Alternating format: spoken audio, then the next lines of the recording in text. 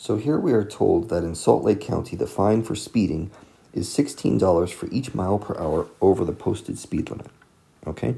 And then we have Gabe, who is fined $272 for speeding on a road with a speed limit of 35 miles an hour. And the question is, how fast was he driving?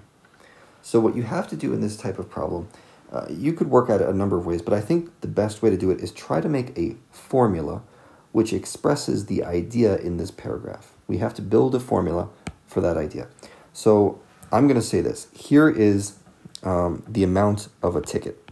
It's going to be X, X dollars. That's the cost of a ticket.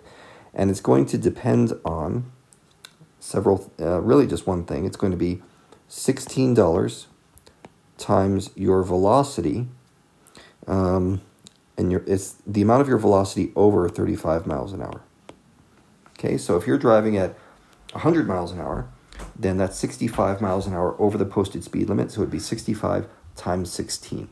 Now, I hope Gabe wasn't going that fast. Let's figure out what his actual speed was. 272, that's how much he was ticketed at.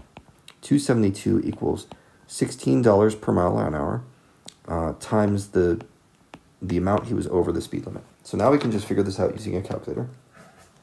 I'm going to divide each side by 16. So 272 divided by 16 is just 17. So 17 equals V minus 35. We know he was driving 17 miles an hour over the speed limit. Now, um, maybe you took that 17, you got excited, and you clicked this answer because you see 17 right there. That's just a trick.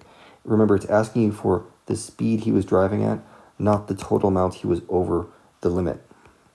So we're going to take this 17 and we're going to finish the equation and we're going to add 35 to it, right?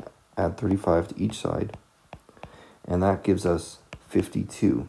So 52 miles an hour in a 35 zone, yeah, that, that's gonna that's gonna cost you.